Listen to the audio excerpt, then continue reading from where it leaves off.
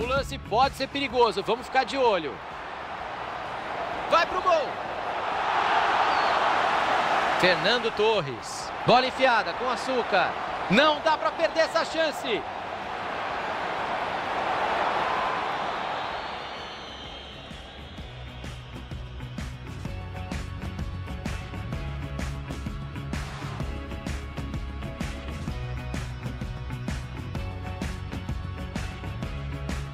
Defesaça do goleiro foi a Fernando Torres.